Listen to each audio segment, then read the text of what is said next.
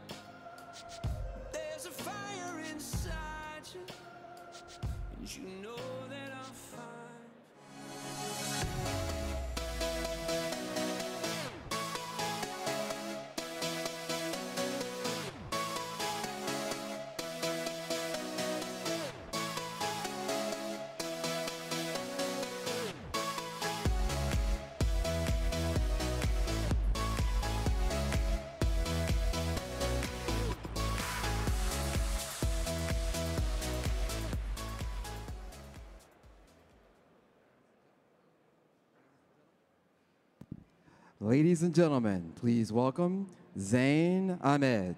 Clap along if you feel like a room without a roof. Good morning. Uh, I am Zain Ahmed. Uh, I, I lead uh, civilian practice at CenturyLink. Um, and I'm, today I'm honored to introduce Deputy Secretary uh, Karen Kelley. Karen Dunn Kelley was confirmed by the U.S. Senate as the Deputy Secretary of the U.S. Department of Commerce on November 28, 2018.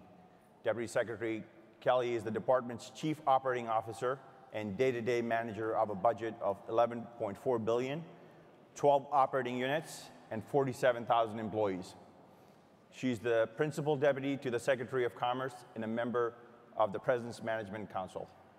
Prior to her, her confirmation as the Deputy Secretary, Ms. Kelley served as the Undersecretary for Economic Affairs, overseeing the department's statistical programs through the U.S. Bureau of, the Census and the Bureau of Economic Analysis. Deputy Secretary Kelley has 35 years of experience in the financial investment sector with experience managing people, strategy, budgets, public relations, and thought leadership across the globe. Ladies and gentlemen, please join me in welcoming Deputy Secretary Kelley to the stage.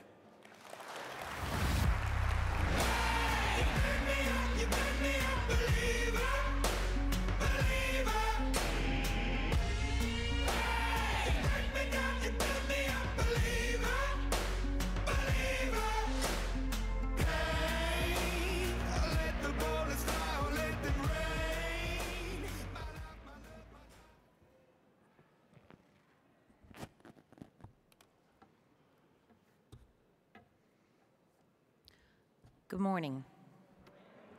Well, that was very lovely. Good morning. I like that. It's great. Um, Zane, thank you for that uh, kind introduction. And um, Really appreciate being here with you today. I also really want to thank the American Council for Technology and Industry Advisory Council, or uh, ACT-IAC, as you like to call yourselves, for your real four years of dedication and leadership to bringing public and private sector, sectors together to create a more effective and innovative government.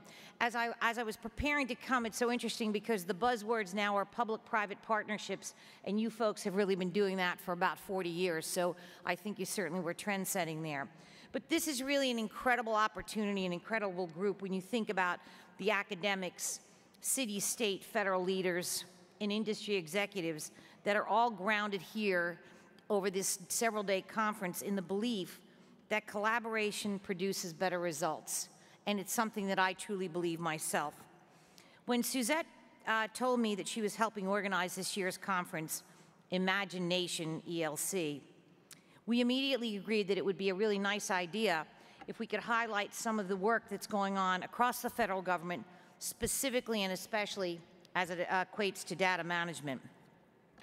In March 2018, from the Office of Management and Budget, Margaret Weichert presented and released the President's Management Agenda. And it really had three overarching uh, themes and programs to really improve the mission of government. And they were modernizing IT, workforce of the 21st century, and leveraging data. Three topics that are equally as important to each of you out there, but today I'm going to focus on leveraging data. So the management, um, the president's management agenda established a government-wide data objective, and that was known as a cross-agency priority goal, or a CAP goal, and it was called leveraging data as a strategic asset. And I think many of us recognize that this sea change had to take place, but really in the past we thought of data as the ingredients that went into a computer or a thought process or an equation to come up with an answer. And now it's a sea change to say, no, it's really a strategic asset. Suzette and I were asked to serve as co-leads in advancing this goal, along with Kelvin Droegemeier from the Office of Science and Technology Policy, Maria Roat, who's here today from the Small Business Administration and is co-head of the organization, and Nancy Potok, who is the chief statistician at the Office of Management and Budget.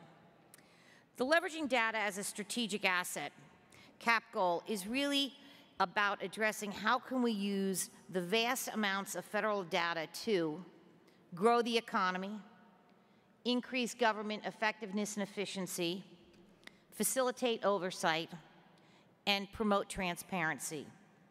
In my role at the Department of Com Commerce, I have witnessed firsthand the positive impact of data leveraged effectively and experienced several opportunities for further progress and uh, improvement, which we seek to address. As many of you know, the Department of Commerce is the largest collector and disseminator of data within the entire federal government. We actually collect more than 20 terabytes of data on a day, and to put that in concept, that could fill 10 million phone books. For the young people in the room, those were those big things you used to sit on. Um, some of this data gets released to the public in its raw form, while the rest underpins reports and statistics that inform the public on critical trends.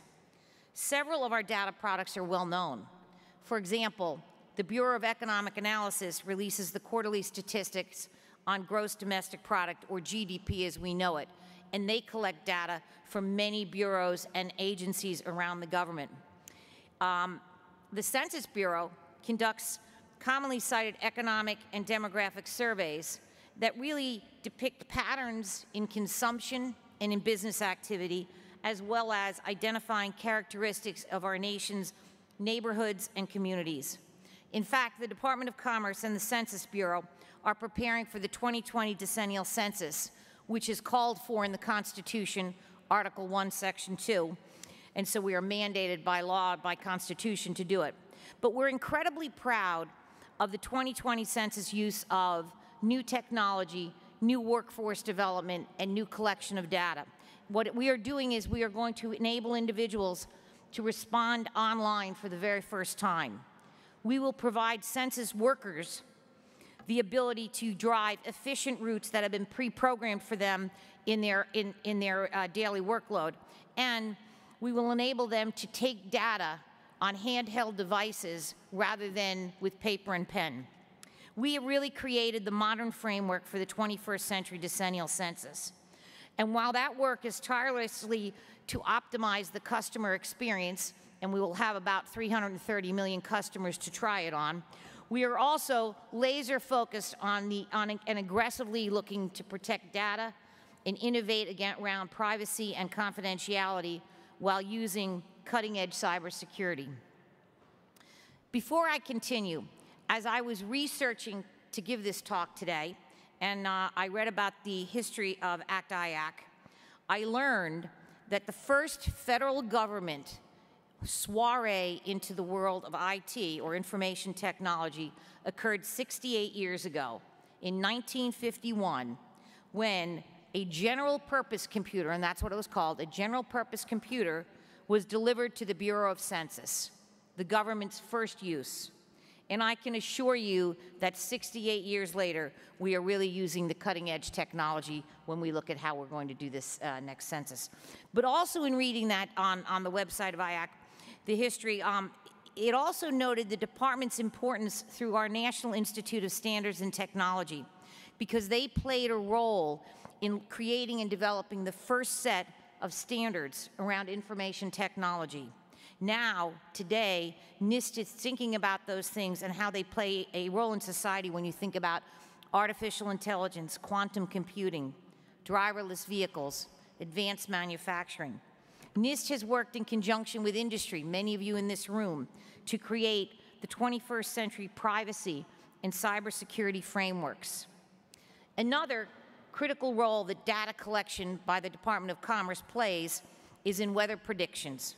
For example, one example only is that the satellite and radar data from the National Oceanic and Atmospheric Administration that we call NOAA is the, da- is the data that's provided and is the basis for the weather data, um, animations, and information that you get on your local news and your apps on your phone that you probably already looked at several times today to figure out today's weather. Last year alone, the um, National Weather Service collected 76 billion observations and issued 1.5 million forecasts and 50,000 warnings. That's a lot of data. Across federal agencies, there's a vast and diverse collection of data. They gather it for a very diverse set of missions. In fact, I think if you even go back 100, 100 or so years ago, you would say that the US government was the first collector of big data. We know, however, that there is a tremendous untapped potential, and we need to get to that potential. Tapping that potential can lead to transformational improvements in the services that we provide for the American people. But closing that gap is not easy, and it will require changes in the way we think and in our practices. We have to ensure that we are using the best information available for data-driven decisions and evidence-based policy.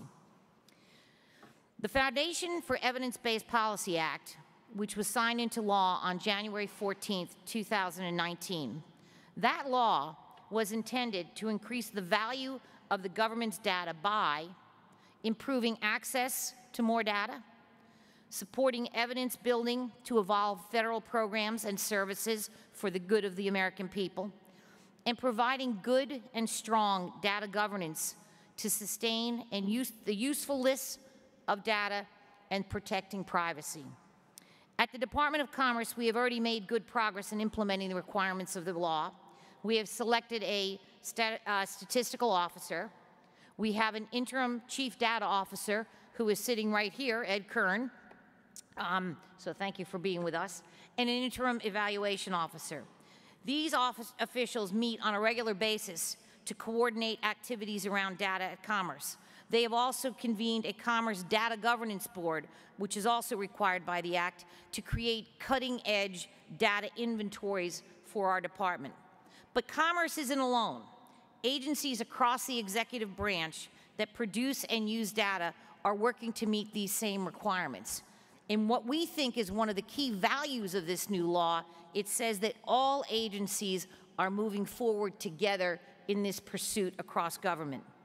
But they need a framework to make sure that they're doing it in a consi- consistent way so that we can then share the data across agencies. And that is why Suzette and I and our entire leadership team are really very proud of the work that we've done to develop the federal data strategy. That strategy is a whole of government approach for using data to one, deliver on mission and services to the American people, but also to ensure data protection and respecting privacy and confidentiality. It offers a framework of consistency for the management and use of data throughout the entire executive branch. And it will establish a priority activities for getting us there. The federal data strategy specifically articulates 10 principles that serve as our North Star to guide data related activities in government. I won't go all through all 10 of them with you, although I'm sure you'd love me to. Um, but I would like to at least discuss the three principles that they all fall under. The first, and maybe most important, is ethical data governance to ensure that we act responsibly and with transparency to build public trust, which is absolutely critical if we're going to take this to the next level. Conscious design to ensure that the methods to collecting and analyzing data, stay relevant and are designed with future users in mind so that it can evolve. And then finally, to, to create a learning culture to ensure that we continue to solicit both internal and external expertise to learn from experience and improvement, why a conference like this is so valuable. We also have outlined 40 practices, so uh, 40 practices that are grouped into three broad frames. But here I will go through all 40 of them because I think we've got lots of time, right, Suzette? Um, the three broad themes that sit underneath what we just talked about are really building a culture that values data and promotes public use. How do we take that data and get it into the hands of the public? Governing, managing, and protecting that data because we are a fiduciary to that data. And promoting efficient and appropriate data use. Are we using it in the right ways? Are we using it for the common good? Are we using it to improve? Because these practices are aspirational, successfully carrying them out will really involve incremental steps. It is not a big bang theory. That is why in mid June, the Office of Management and Budget released the first draft action plan for the years 2019 2020. The final plan is expected to be released in November. The action plan lists a series of discrete actions for agencies and to align their practice to align their data practice with practices and principles presented in the overall federal data strategy. And that will really try to help create that framework of consistency across the government. It is a step by step process, and the input from both internal and external stakeholders are critical. We have called for public input regarding each element of the federal data strategy, be it the principles, the practices, or the action plan. We used a variety of outreach efforts. We created a website, strategy.data.gov, where progress and implementation is on there so you can track it on a daily basis. We issued public register notices for a call for comment. We hosted six federal and public forums. We featured over 150 speakers. We attracted 900 attendees. And if I look around this room, I think many of you were at one of these events. We also promoted the strategy at 87 external events across the country. These efforts show you how seriously we value your input, our partners in private sector and academia. And our stakeholders really delivered. Thank you. We got hundreds of comments. They offered ideas, examples, suggestions, and we took them and molded our, um, our, our comments accordingly. As a result, we are confident that the federal data strategy is not only comprehensive, but equally as important, it reflects and addresses the needs of our stakeholder and stakeholder groups. As we think about this conference and the goal of this conference, ensuring government and industry are effectively working together, We believe the President's management agenda has done just that by bringing together over a thousand professionals across the public and private sector to strategize and collaborate efforts on modernizing IT, including emerging technologies, shaping tomorrow's federal worker, and leveraging data as a strategic asset, which we spent time chatting about today. Moving forward, implementing the federal data strategy will require stakeholders continually be engaged, and we strive to fully uh, leverage the value of our data. As we continue with today's agenda and the rest of this conference, I hope we will proceed with a full sense of, and appreciation of the power of collaboration and the synergies that come from industry and government working together as you have done for over 40 years. Thank you and enjoy the rest of the conference.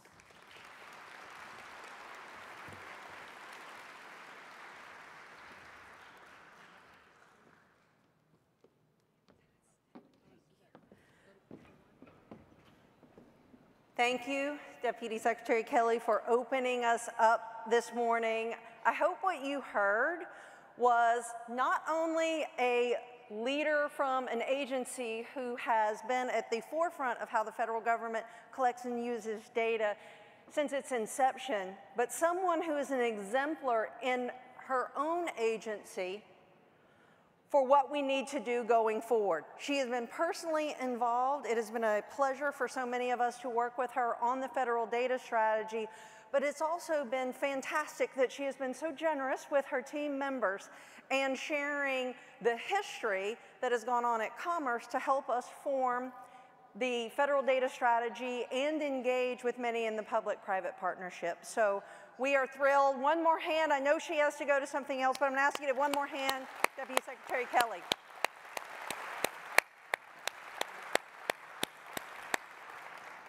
And now, to introduce our next speaker, we've got a great morning for you. Um, I'd like to invite Sanjay Sardar to the stage to hear from our next speaker. Thank you, sir.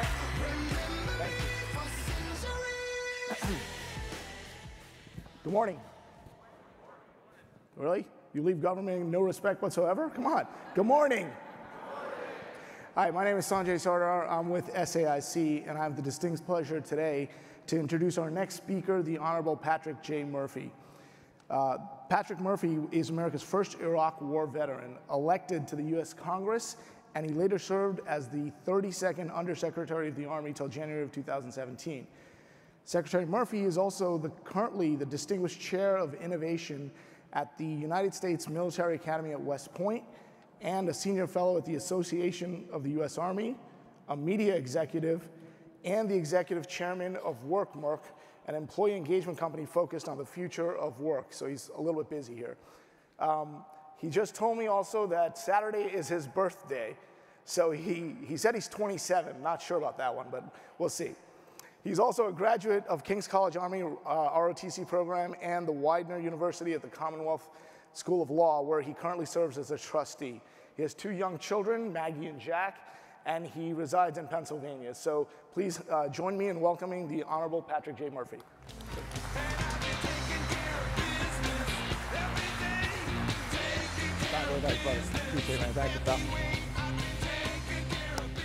All right, good morning. Welcome to Philadelphia. All right, let me tell you about the great city of Philadelphia, not just the birthplace of democracy here in the United States of America, but where our U.S. Army was founded, where our U.S. Marine Corps was founded, and where our U.S. Navy is founded. But as you know, as Sanjay so eloquently said, I am an Army veteran, so that means I was on America's varsity team. and my poor brother is an Air Force guy, which used to be the Army Air Corps, so he's like my little brother. Um, but welcome to Philadelphia. Uh, I'm so proud to be here, and thank you so much for having me here today. Uh, I'm excited to be back after this is over and doing Q&A. I'll be back over at the uh, Comcast, the tech lab that we have. We'll be there. And another thing that we're very, very proud of um, here in Philadelphia is that we really believe in entrepreneurship. So when you look at, I'm a, I'm a numbers guy, and when you look at the great thing about the United States of America, we have the number one economy in the world and number one military in the world. And part of what's driven our economy has been innovation. And some of the best businesses in the world have been started by veterans coming back from combat. So after World War II, 16 million Americans served in World War II. They came back, many of them used the GI Bill. We democratized education at that time, but we also, a lot of them went into small businesses, created their own business, and created iconic global brands like the largest retailer in the world, which is, any guesses? Largest retailer in the world? Walmart. Created by Sam Walton, Army veteran. Okay, largest sports apparel company in the world is what? Went running this morning, ran in my Nike shoes, started by Bill Bowerman and Phil Knight, both Army officers. Now, again, I'm very bipartisan. I'm a moderate, okay? So I have to give some shout outs because the Navy has some impressive folks too. Largest media company in the world is Comcast. Comcast started by Ralph Roberts, a Navy veteran. And FedEx started by Marine Fred Smith after Vietnam. When you look, though, at innovation, when you look at entrepreneurship, half those 16 million Americans come back from World War II started their own small business, 50%. But of my generation of Iraq and Afghanistan veterans, it's less than 5% that start their own small business. Now, we all know, many of you that are in the government, we do have veterans set aside and some other things. It's actually veterans' goals usually, it's not set aside, but there's a lot more that we could do. But I know many of you work and deal with veterans, and I think that's very, very important. Uh, I've been very blessed, as Sanjay mentioned. I am not 27. I joked with him, I said I'm 27 on weekends. Um, uh, I, I believe that, you know, when I served both in political public service or military service or now in the private sector, uh, I have been very blessed. But all of us in this room have what's called a servant's heart to give back. and to make sure that we're motivating our teams, making sure that we are focused on our goals and developing a culture, when we hire these young Americans joining our ranks, um, no matter how small or large your organization is, it's a different mindset. Um, I know when I ran the Army a few years ago as the Undersecretary and then the Acting Secretary of the Army. You know, we hire 120,000 millennials every year. Uh, more young Americans than any other organization in the world. And for a lot of young Americans these days, they have a different mindset. It's a gig economy mindset that they're going to give you two to three years and then they're going to move on. Uh, in fact, some of the trends that we see 80% of the workforce out there are deskless. They don't have a desk. And so, how do you develop a culture? How do you develop a team? How do you make sure that they're engaged and are optimized to accomplishing that mission? And so, I know we started a company called WorkMark uh, down the road that we focus. It's based here outside of Philadelphia in a town called Conshohocken. Uh, but again, we're service-able veteran small business, and we are focused on making sure that millennials, making sure employees are engaged and using technology to do that. Um, but when you look at these deskless workers, when you look at innovation, when you look at driving the ball forward, we also understand that there are other factors that come into play. When you look at the bad actors out there, with ransomware. When you look at cybersecurity, uh, I, am very blessed. I'm one of the 14 commissioners on this bipartisan commission. It's called the U.S. Cyberspace Solarium Commission. So you all heard of the 9/11 Commission, and they had recommendations at the 9/11 to make sure that tragedy never happened again. Well, this is the Cyberspace Solarium Commission. It's co-chaired by Senator Angus King and Congressman Mike Gallagher. And every Monday, we're in Washington, D.C.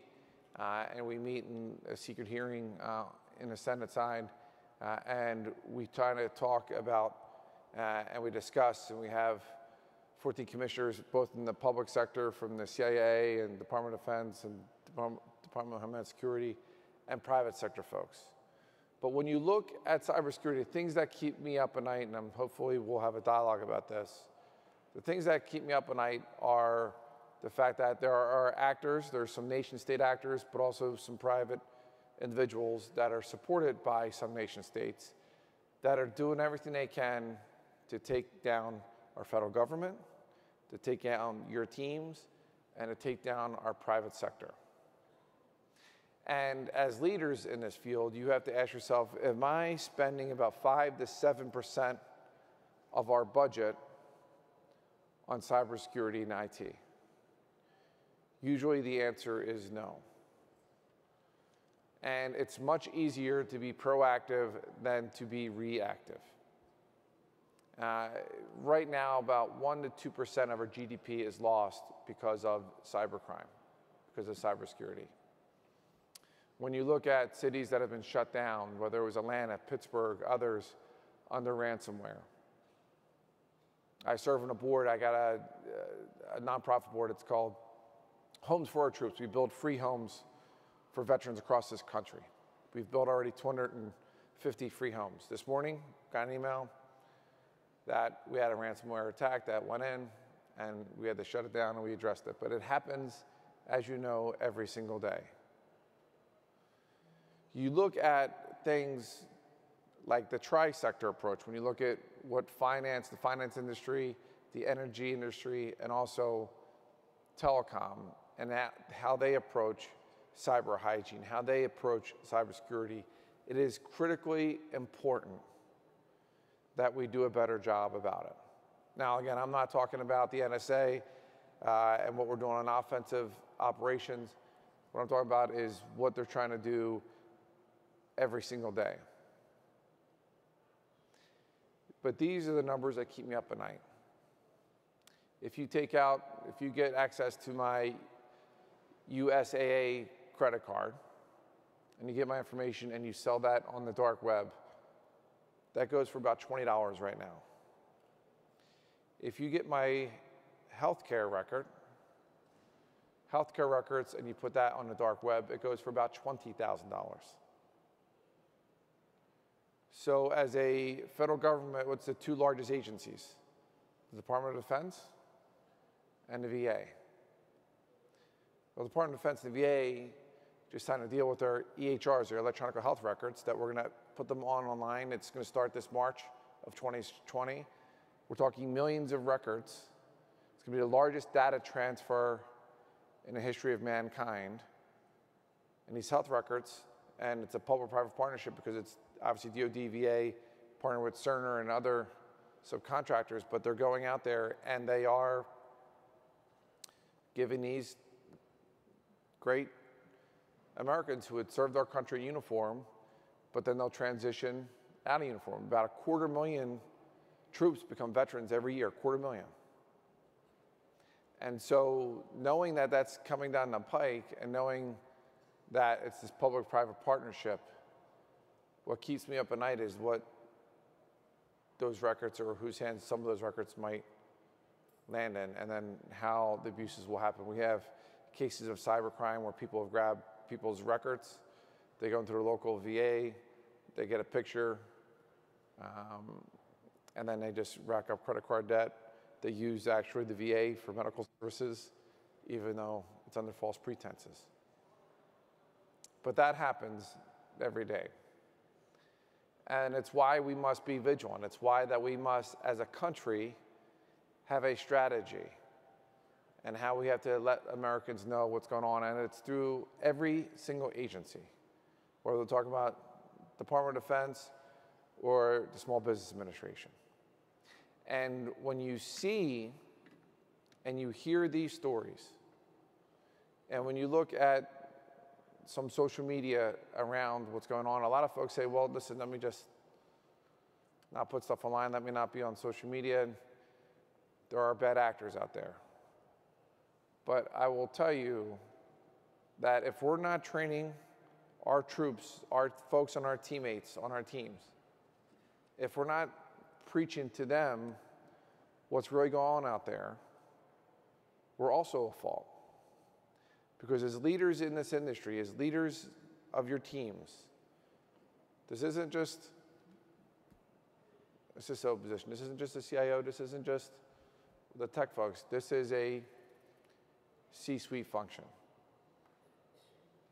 And as a nation, when we have folks out there and other nations that are trying to steal our intellectual property, when we have out folks out there who are trying to slow us down, when there are folks out there that steal records from some of our largest banks. So you heard the news a couple weeks ago. Capital One, the tri sector is doing a very good job, and we're trying to get other industries to step up their game. But even in the financial industry, we had Capital One. It took them 146 days to realize that they had a breach. And you know how they found out they had a breach? Capital One records were being sold on the dark web, and that's how they found out about it. So the more we learn about it, the more we become vigilant about it, the more we have a national strategy around this to be more proactive, to be vigilant, and to address it, the better off as a nation we will be. All right, let me conclude um, by saying one last thing. Um, for those who are in public service, and political public service as an appointee, thank you so very much to serve during one of these defining moments in our country's history. Um, as I said, and as Sanjay mentioned, I, I was very blessed to serve uh, in the Army, was a kid from a row house in Northeast Philadelphia, and went on to Congress, uh, went on to teach at West Point, and deployed twice overseas, but came back and ran for Congress and, and won, um, and won again, and then had the honor to serve as acting Secretary of the Army. And now get a chance to, to work with companies like Comcast and others talking about trying to solve challenges that our nation face right now. But I know when you serve, whether it's in uniform, wear the cloth of our country, or whether you serve as civilian in our federal agencies, you and I in the military, we take the same oath to support and defend that Constitution against all enemies, foreign and domestic. And I know we don't do it for the big, lavish paychecks that we all get, because we all know serving the federal government isn't that high paying, but it's because we do have a servant's heart. And whether you were or, or in public service or went to the dark side in private industry, which I don't call it that, but I know that's what a lot of people do call it. Um, the fact is, we have to, have to, have to find a way to work together. And I think, you know, when I left the Congress, the Army budget was $250 billion dollars a year. When I came back four years later, uh, after being in the private sector, the Army budget was 150 billion. And now it's about 180 billion. But I will tell you, finding ways to create these public-private partnerships was really hard. The Army, if you didn't know, we have 1.3 million people. We had 4,000 attorneys. Attorneys love to say no. I'm one of them, okay? One of the reasons why I think I was a good attorney and commanders like me is because I understood what their intent was and we figured out a way to get to yes. But I will tell you that creating things like partnering with Major League Baseball, they want to build a, a stadium at Fort Bragg, North Carolina for 10,000 of our soldiers for free. We'd have to pay for it. That was harder than it should have been but we did it. Partnering with folks like Suze Orman to talk about financial literacy, literacy for our troops, because some of them are frankly making $19,000 a year. And they have tight budgets, and making sure that they weren't overextending themselves with new cars, et cetera.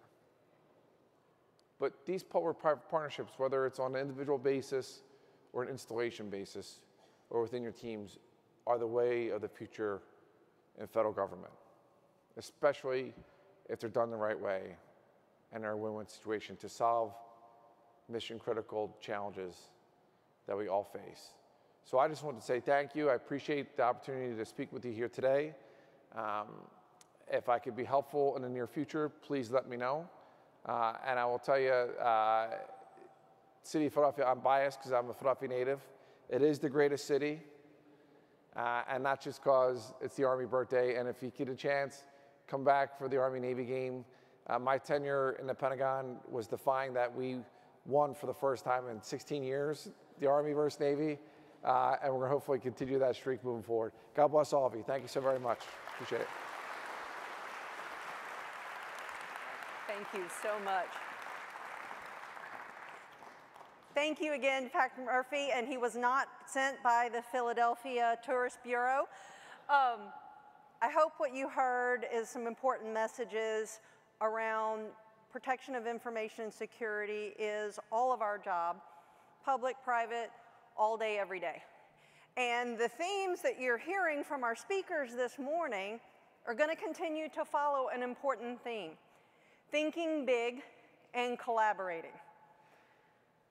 So it is now my pleasure to welcome to the stage, without a long introduction, but uh, talking about thinking big and collaborating, the architect of the President's Management Agenda and the champion of cross-agency collaboration, someone that I hope everyone in here has had an opportunity to hear from, but today we're gonna talk about things looking forward. Please join me in welcoming to the stage Deputy Director Margaret Weichert. Baby, there's nothing holding me back.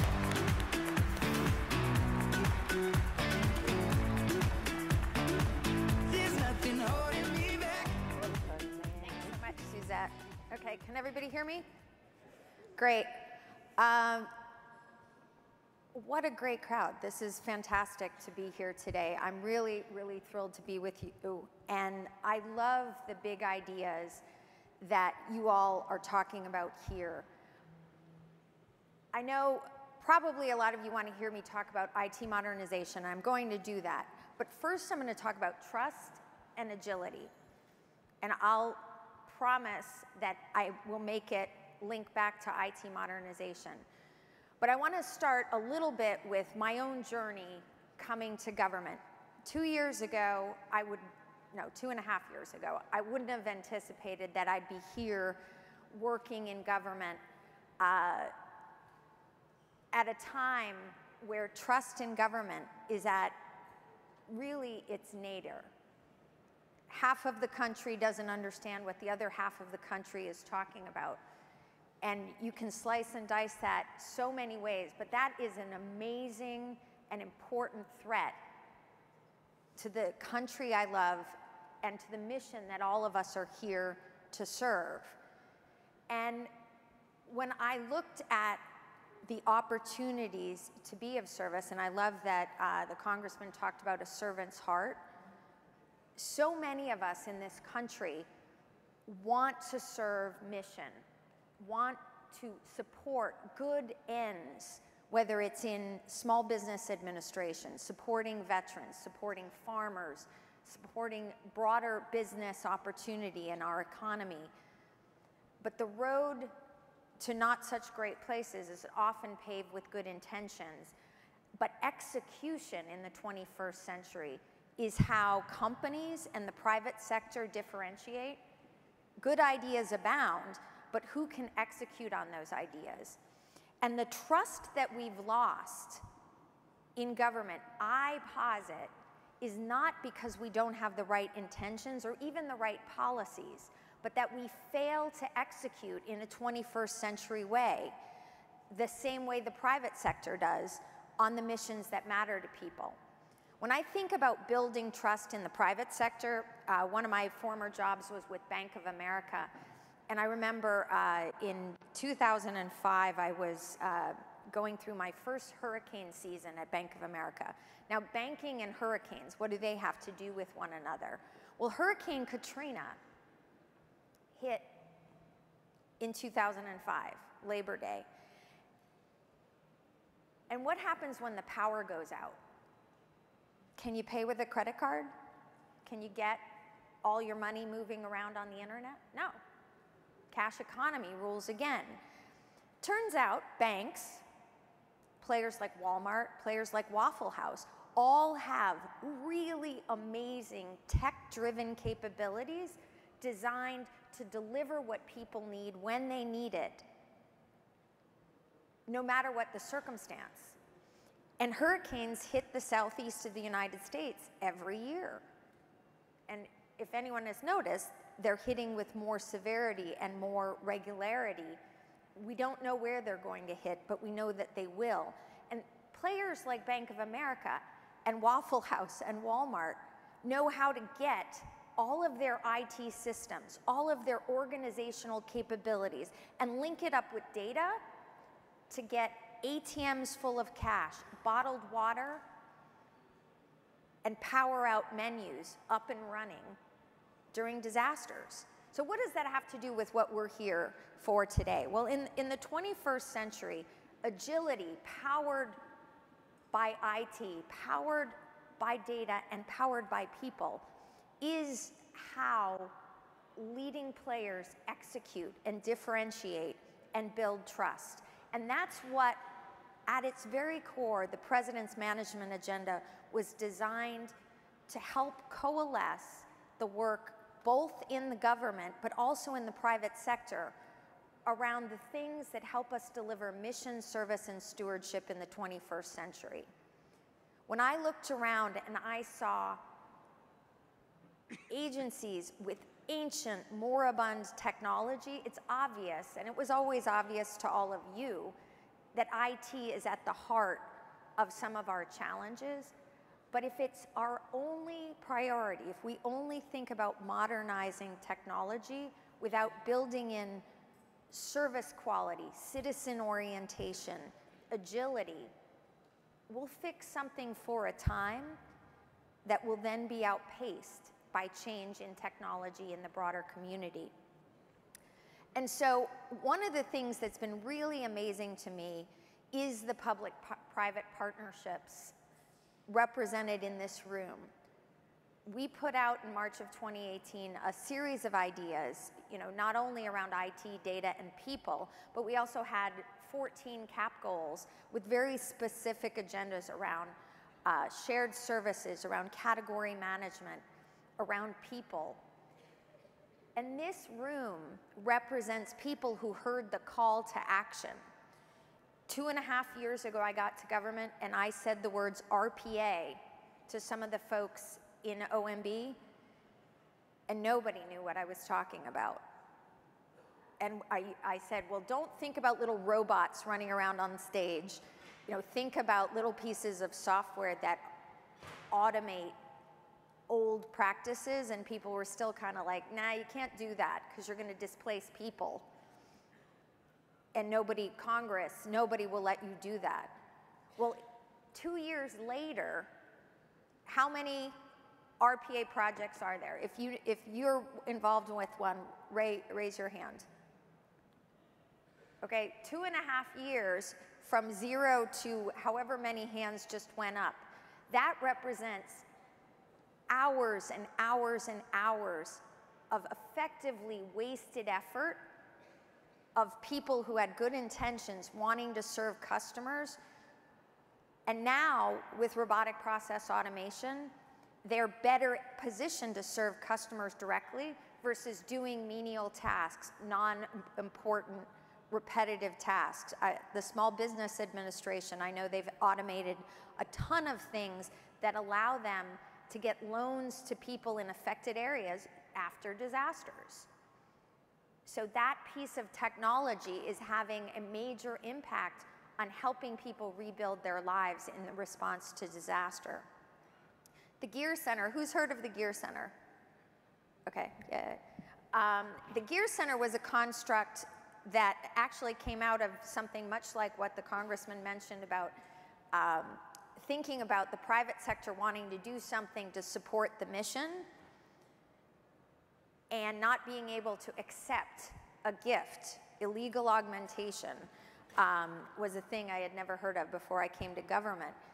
And the Gear Center was a construct designed to help us work together on shared research and development activities that help move forward our service objectives in government without running afoul of many of the very well intentioned rules and procedures that were designed for a different age, an age where you had a set amount of requirements that wouldn't change for 10 years.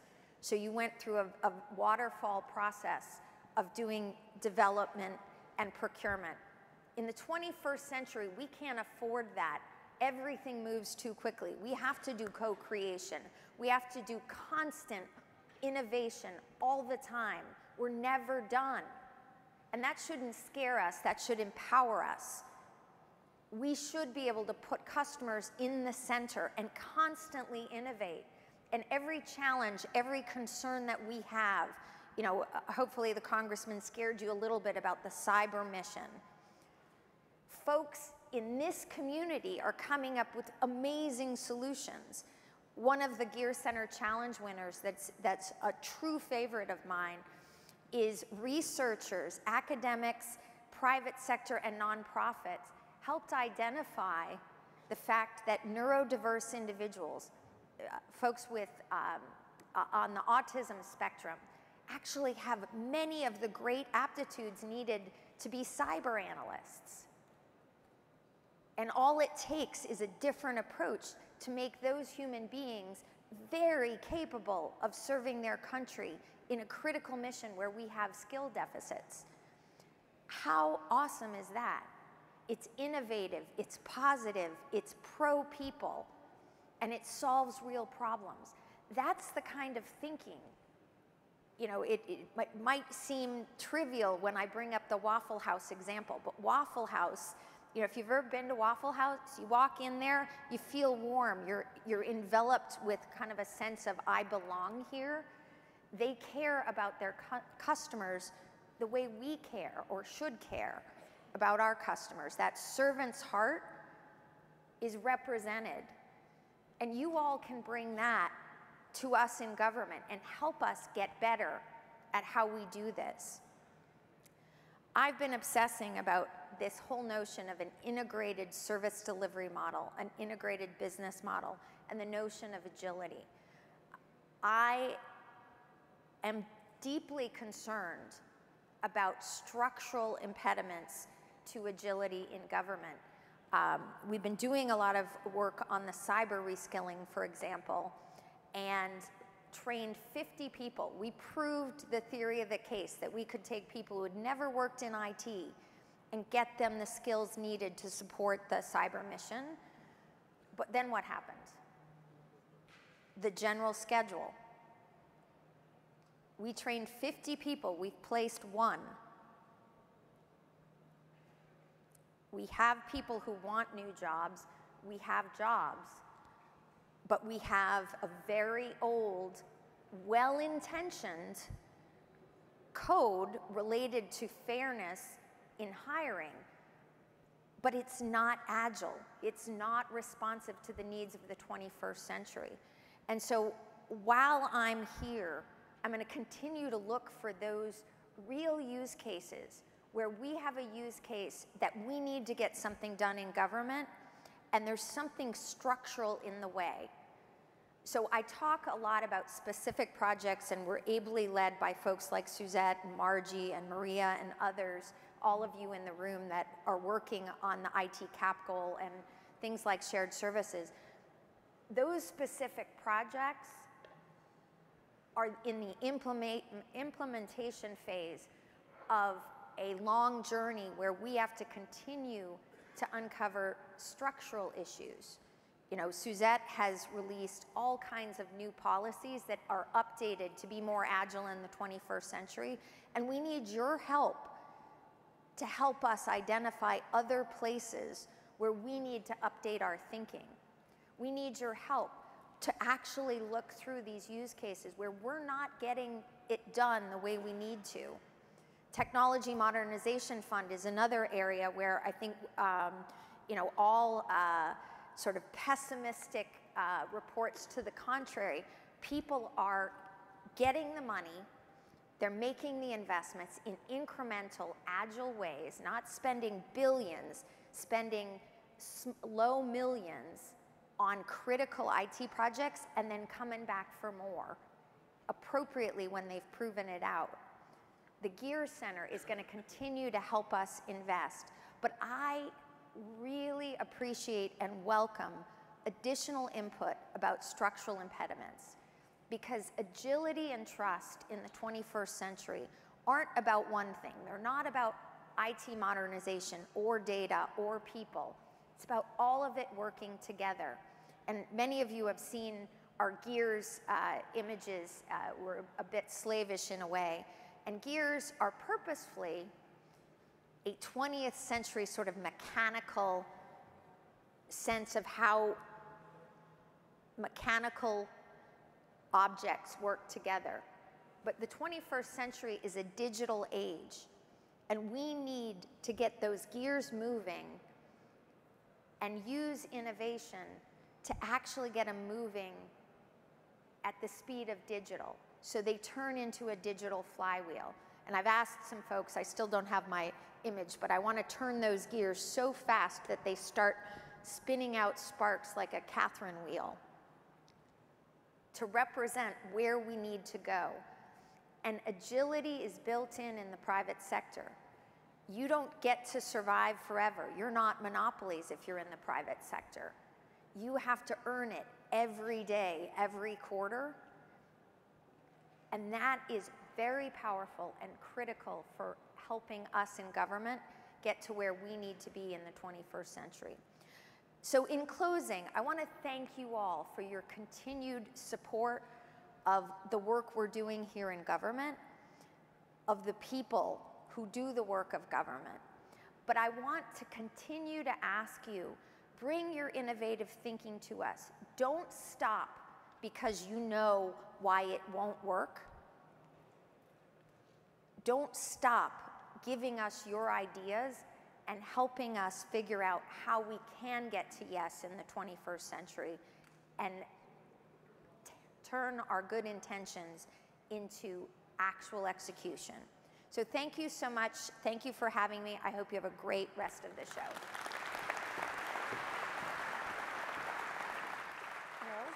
Thank you, ma'am. All right, thank you, Margaret. I hope what you heard there is a challenge to keep the dialogue going and, continue not only to deliver on what's before us, but to collaborate on how we make that bigger and more powerful and continue to remove barriers. Um, and the conversations and the observations of individuals in here are what's important to make that happen. And when we talk about some of those innovative solutions and things like that, that's what we're trying to demonstrate in Techno. And so now we're going to switch a little bit, let you hear from a couple of other folks, and have a, more of a dialogue. And right now, I'd like to welcome to the stage Shelby Fritz from Google. If I can find Shelby. There you are. Thank you. Hi. Hi, good morning. Um, I am honored to be here as I am representing Google Cloud. And as you know, Google's mission is to take the world's information and make it readily available. So the uh, honor to kick off a session about data is something we're incredibly passionate about. Oh, so first up is Margie Graves. She's the Deputy Federal CIO for the Office of Management and Budget, Executive Office of the President. In her role, Margie works to improve the way government delivers results and technology services to the public. Hi, Margie. So nice to meet Nice you. to meet you too. All right, coming up next is a gentleman that I know well. At Google, we got to work on some of his fun projects at NOAA. Ed Kearns promotes federal, Ed Kearns is the interim chief data officer for the U.S. Department of Commerce, overseeing governance and management of its data assets. Ed promotes uh, federal data through new partnerships and technologies such as the NOAA Big Data Project, and he has recently helped deve- develop the White House's federal data strategy. So welcome, Ed. Good to see you. And, and finally, or well, not finally, we have our moderator as well. Joseph Klimavicz serves as the Deputy Assistant Attorney General and Chief Information Officer at the Department of Justice. In this position, he provides leadership and oversight of the department's information and technology programs. Thank you.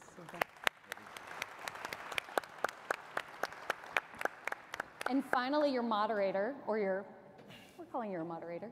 Uh, Francis Rose is an award-winning broadcaster, a journalist, speaker, writer, and host of Government Matters on Washington's DC's WJLA ABC 7, that is hard to say, uh, and News Channel 8. He has covered all three branches of the federal government and as a broadcast journalist since 1998.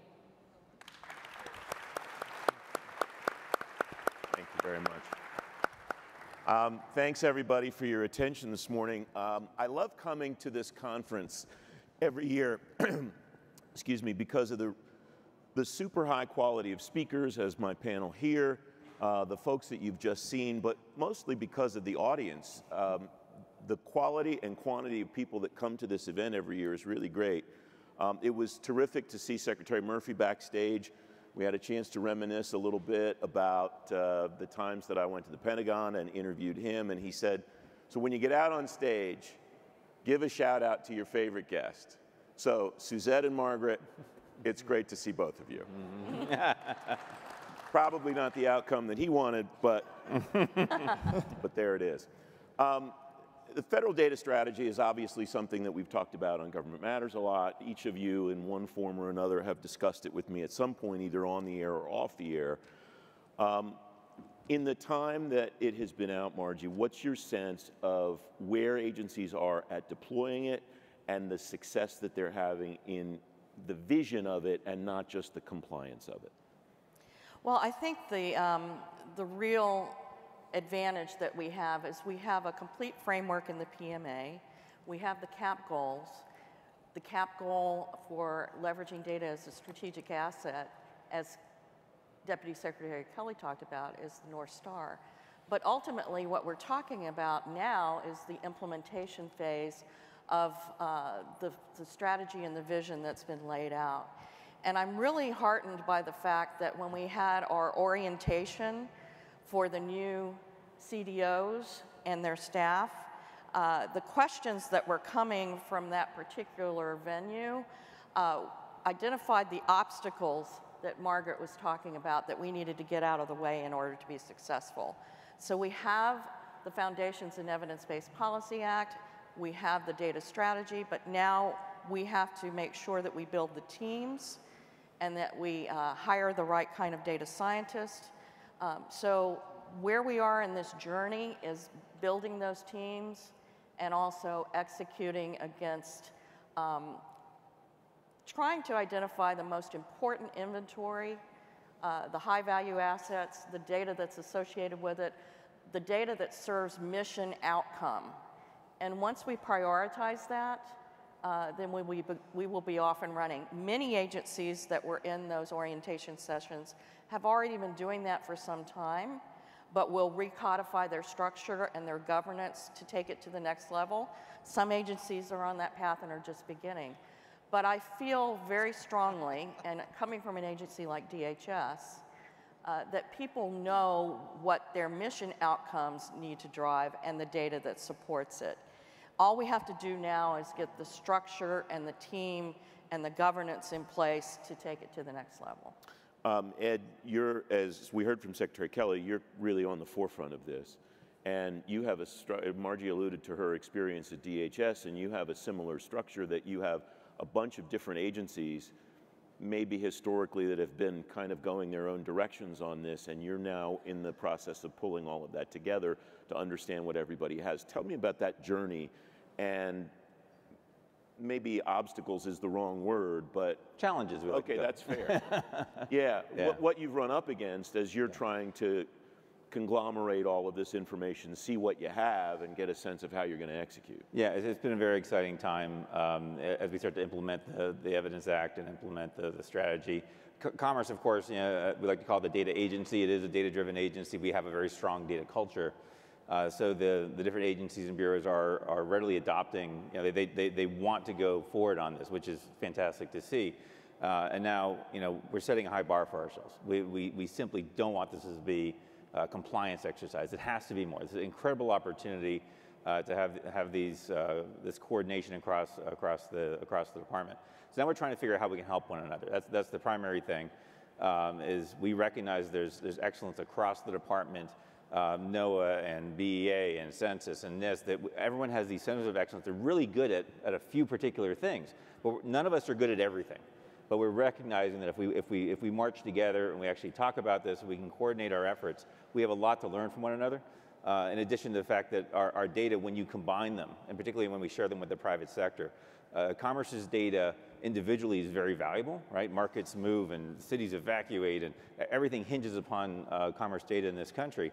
Uh, but when you bring these things together uh, into, uh, into frameworks where they can be used holistically and together, it's, um, it's even more valuable. So we recognize there's, there's opportunities across the full uh, data lifecycle, all the way from what we're doing to serve the American public on one end, all the way to the secondary uses of our data on the far end.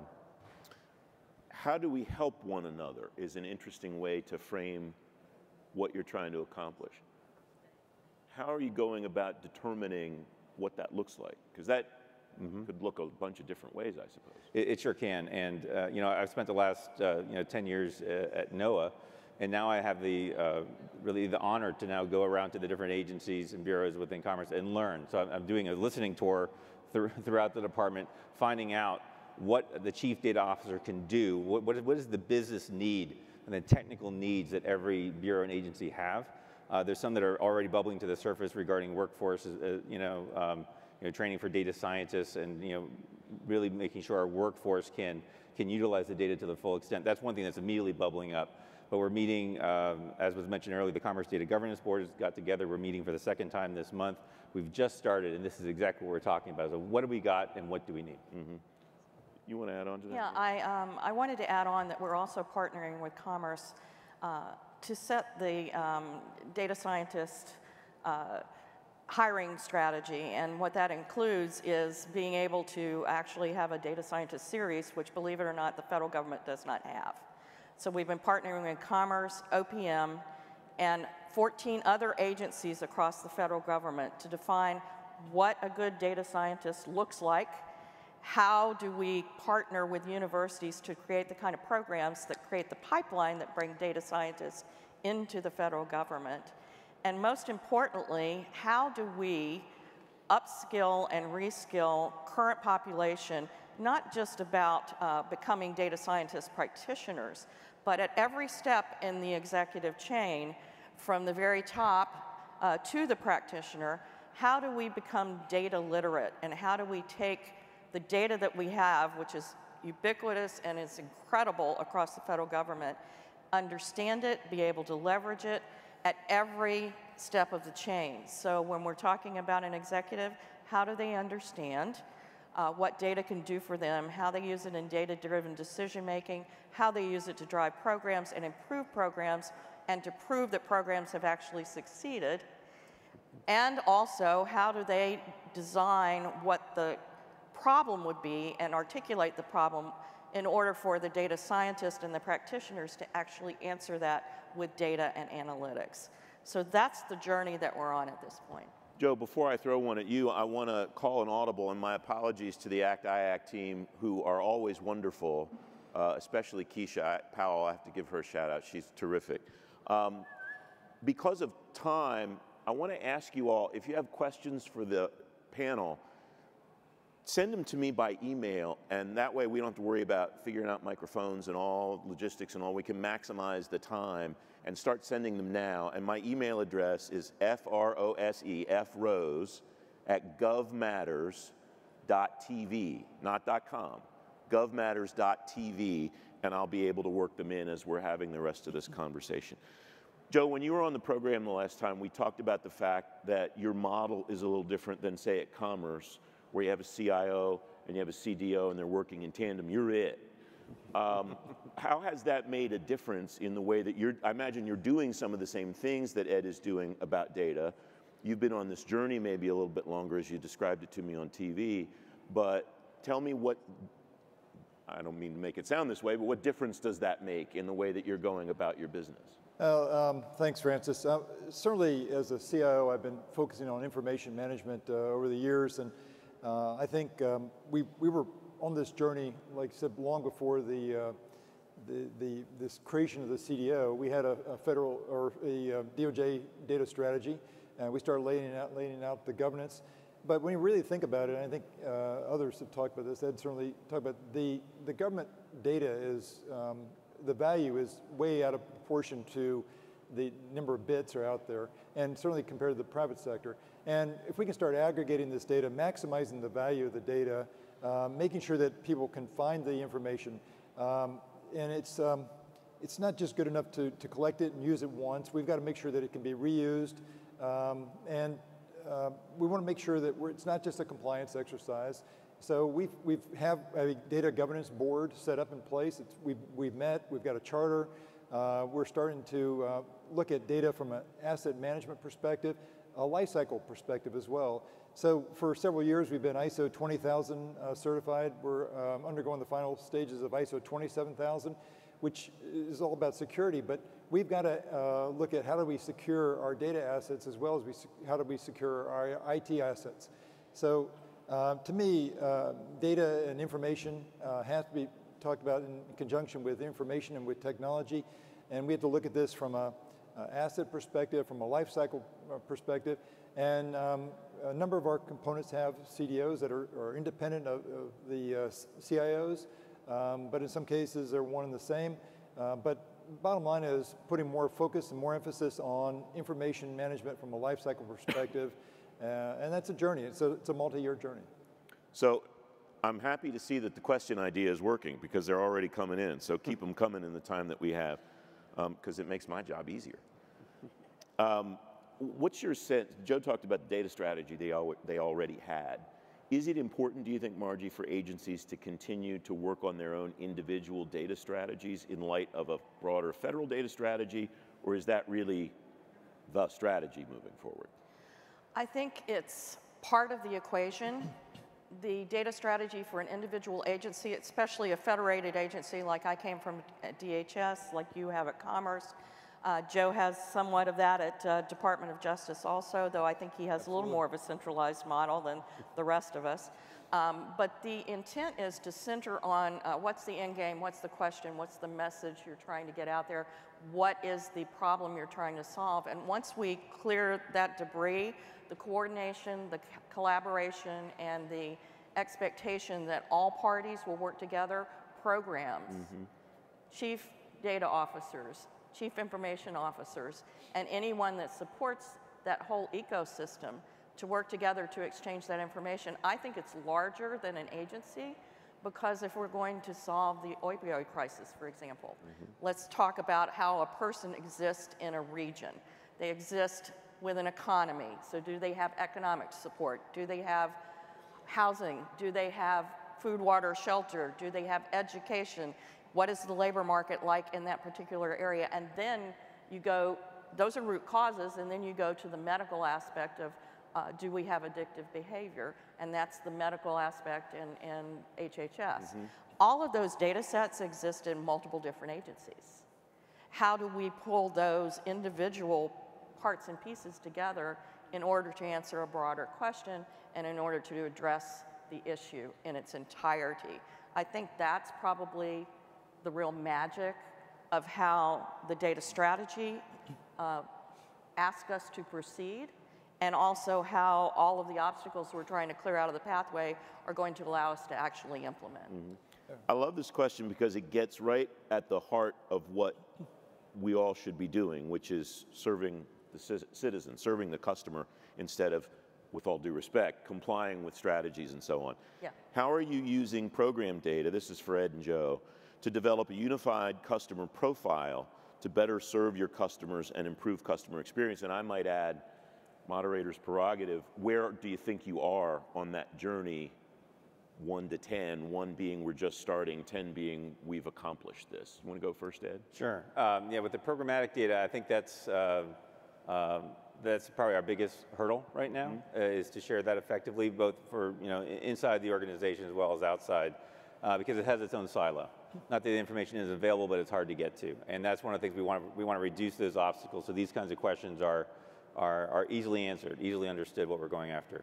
Uh, that said, you know, the, you know, one of the amazing things, you know, when, when people, uh, you know, in this highly, you know, uh, uh politicized climate that this country finds itself in right now, people ask me, Ed, well, aren't you worried about this, that, or the other thing? I'm like, no, you know, I have the privilege of serving next to uh, public servants that have an incredible customer focus. I mean, any private industry would kill to have the customer focus the federal government, civil servants have for the delivery of, of, of data and products uh, to the customer. But the, there's, a, there's a gap between, a gap of understanding between the citizens and those people doing the service delivery. It, there's not a lot of communication there. So um, what I'm hoping comes from this, uh, from all these efforts too, is to break down some of those, that lack of understanding of what the civil servants are doing when they're delivering these information products. Because one of these things that you know gets taken for granted when, this, when, the, when the information products are getting out every day. Uh, for example, National Weather Service you know, was brought up earlier. You know, during the shutdown uh, that we had this, this past year, uh, forecasts continued to show up, and, and people just you know take that for granted. But no, there were a lot of people working very hard to make sure those services to the American public continued despite what was going on with, with our politics, and uh, that's that that is. Uh, you know, um, easier said than done, but these are incredibly dedicated servants that are doing this. So my hope is that as we shed more light with the programmatic data, uh, this, the citizens will understand where their taxpayer dollar is going, how it's being used, that it is being used effectively, and that uh, the efficiency of a lot of our systems are, are, are excellent. Mm. Not that we can't do better, and particularly working across silos, this is the, the big challenge. But uh, we do deliver services very effectively. Great. One to 10, where do you think you are on that journey? Uh, I actually I'd probably say about a three. Okay. we have a lot of potential there. Fair. Joe? Uh, so we're, we're fortunate that uh, the uh, Department of Justice houses uh, all the national criminal databases. Uh, and we have to support 18,000 state and local law enforcement organizations, 800,000 uh, uh, law enforcement officers across the country. And that process, uh, I can't take credit for it, is, is actually very mature in terms of uh, how it's governed and, and, how it works. Uh, but I certainly think that from a speed and, and, scalability, we're looking at moving a lot of those services to commercial cloud environments or scaling out to commercial cloud environments. I think that a lot of those are still somewhat siloed in terms of uh, if you know what database to query and you can get responses back. So how do we make that a more integrated process? Um, but then also on the citizen-facing side, um, we manage over seven, uh, 70 uh, .gov uh, domains and, and uh, over 700 um, second-tier uh, websites. And how do you make sure that all that information is easy, easily accessible, that you can quickly find stuff? And I think that uh, way too often uh, government agencies uh, put stuff out piecemeal. I mean, it's, uh, we've got with this site for this information, this site, and it makes it very hard for the average citizen to find government data, to use government data, and you must need a, um, uh, some kind of uh, organizational chart to who does what and where and so on. So I think we've got to do a lot more work in how we provide the stuff that can be released to citizens. Um, this question, I think, Margie, is best for you. And it resonates with me because when I first came into this space 12 or 15 years ago, one of the first stories that I covered at Federal News Radio was um, I don't remember the members of Congress, but wanting to pass a law that would allow other agencies to be able to access the death master file of Social Security. Nobody could see that except Social Security, so nobody could see who died and who they were paying money to that was dead. What's happening now with that? What's the state of the regulatory environment that would prevent our panelists from sharing information?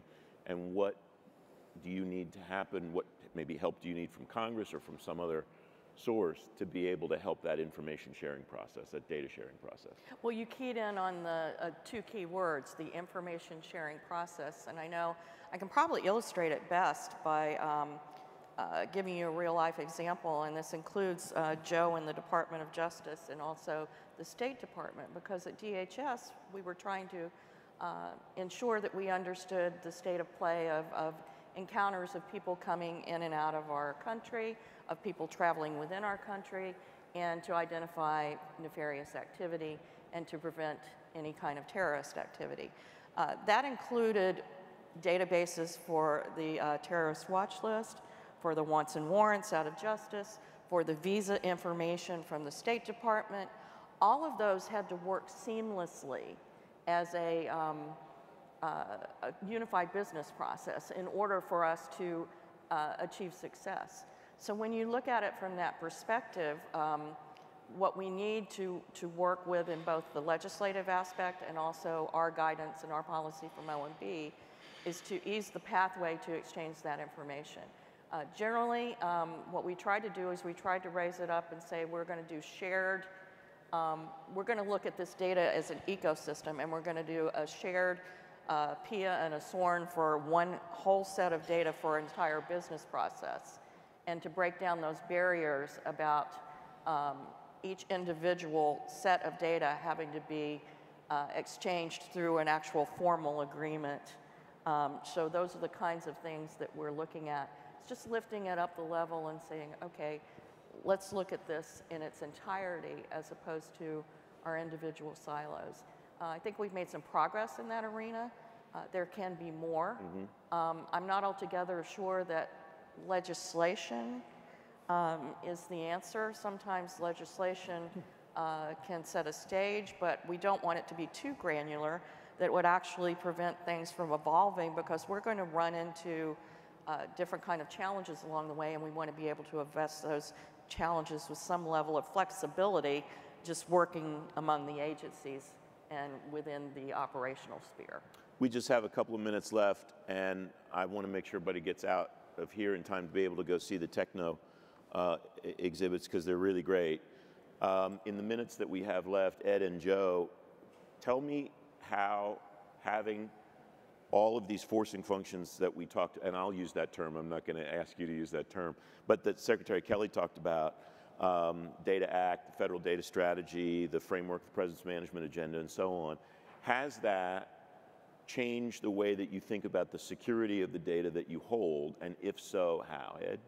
Yeah, I- I- yeah th- everything has happened this year. Been- this was Yeah. not this was not coordinated, just the way it worked out, right? Um, but it's wonderful because we, we do have this critical mass of enthusiasm right now uh, driving forward, and it's making us think about things a different way.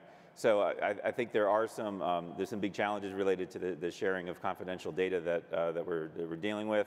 Uh, this is uh, something that was uh, pointed out in the commission report on policy-based uh, evidence uh, evidence-based policymaking. Excuse me um, and is in the president's 2020 budget request, right? Something that is sometimes called the National Secure Data Service, sometimes it's called the, uh, the, the Federal Data Service, but it's a, a, a way of sharing those confidential data with those agencies that need to get to it and those researchers that need to get to it, get the most value out of it as we can. Uh, because we do protect our data very well, uh, th- that's for sure. But if we, if we protect without sharing, then we're leaving value on the table, right? And so uh, there's a lot of active discussions right now to define what that national, um, you know, federal data service should do to, to use the modern technologies, share data when appropriate, with the people that have the credentials to do so for the purposes that are allowable by law. And uh, there's a lot of very promising pilots going on right now, so I'm, I'm very hopeful that this is something that's gonna, gonna hit soon, that we're gonna be able to be able to use. Joe, it sounded like you thought you had an advantage because you were kind of on this journey already before Margie and Suzette came along and said, This is how we'd like you to do it. and I wonder if that gives you an advantage in security too. Uh, it's amazing uh, when you read the different uh, data strategies, uh, how much how similar similar they are, uh, because they all talk about the workforce and making sure that you've got uh, data scientists with the right skills. And it's not just the data scientists; it's other practitioners. In our case, attorneys and gun carrying agents. Um, but they also talk about uh, sharing of data and, and standards and how do you access it, how do you protect it. And obviously, protecting our sensitive information is critical. Uh, but we're looking at data as assets, and so developing data plans, um, pushing data standards, API management. How do we manage across different APIs? Uh, so all these things are coming together. I mean, it's just it's great to see uh, so much focus on on how we're effectively managing information. But it's not just having information well managed in, in a standard format. It's about how do you actually maximize the value of that. And to maximize the value means you've got to share it, you've got to work across different agencies, you've got to sh- share it with citizens. And that it takes a lot of work, and this is a multi year effort. Um, so it's, it, I think we're all working together. It's, um, like I said, it's amazing how well these, these plans, they, they look like they've all been, one's copied from the other. and uh, Highly coordinated. Yes, and, and uh, all the CDOs in the federal government have a group list. We're, we're, we're emailing back and forth every day, uh, sharing uh, uh, what we've learned. So it's, uh, I think we're well on, well on our journey. Joe and Ed and Margie, I want to thank you very much for joining me this morning. But I want to say a quick thank you before uh, I wrap up. Um, I've mentioned I've been in this space now about 12 or 15 years, and that's I know that makes me a rookie compared to some of the folks in this room. One of the first people I met when I went to Federal News Radio originally was this tech guy in the Navy. And he said, he, he did a great interview, and then he said, if you ever need anything, let me know. And that was Dave Wennergren. And you've been my friend ever since. And so your personal friendship and your professional friendship now combined with the leadership of this organization is tremendously gratifying. Congratulations on putting together this great event with the team that's done it. Uh, Bill and Tim have done a wonderful job and all of the people involved. And I just thank you for everything that you've done for me over the years, my friend. Thank you all.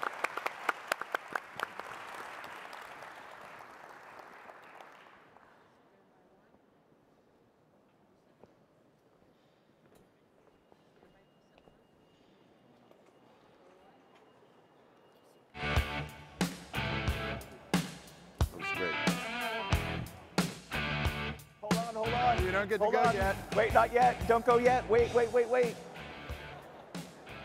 Wait, wait, wait, wait. Don't go quite yet. Can't leave till you hear from us. So, wow, Tim, what a great morning. What an incredible group of speakers that we had this morning. I'm really jazzed about it. I'm pumped up too. I think it builds on the word we used yesterday, energy. What a lot of the people talking about on stage here today, uh, we got a lot of challenges. But I know we got this audience. I know we're going to continue to build on it. We let you out of here. We're going to continue to address those challenges and we can conquer them together.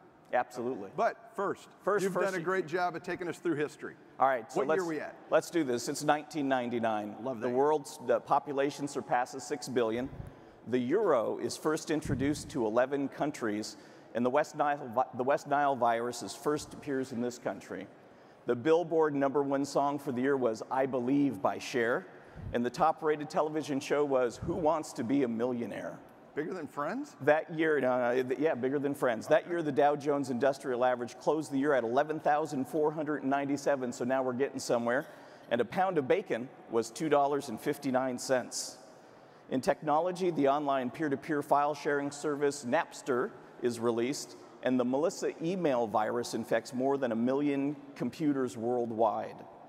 Also, the Mars Climate Orbiter reached Mars but is destroyed by atmospheric stresses and friction due to a software issue. I don't know if Renee's here. Uh, however, all the eyes around the world were on the year t- Y2K problem uh, and the millennial bug. Critical industries such as electricity or financial and government functions could stop working at the turn of the century. And all over the world, companies and organizations checked and upgraded their computer systems, as well as a lot of really, really good parties that took place.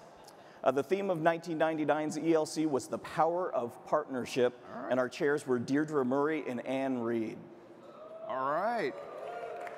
So, so now we got another great day of sessions uh, building on yesterday, TED Talks, use cases, as well as our partners. Um, you know, uh, um, I went out uh, to my app, my handy dandy little app, and I did some data work on my own, and I added up all the events, and it came up to 32 and a half hours that we yep. got here. Unless you're Sundar, he actually has a 61-hour conference because he counts bar time. Yeah. So, so anyway, um, this morning we're going to have four more uh, use cases going on in Techno. If you've not seen Techno, you need to get back there. You got to experience Techno to understand what it's all about. We've got four more sessions across our Imaginariums, which are up front, and our theaters here at the back, and then we got two more discussions going on on center stage. And at noontime, back here, back here at noontime for lunch and some presentations. All right, everybody, let's go get them. Go forward.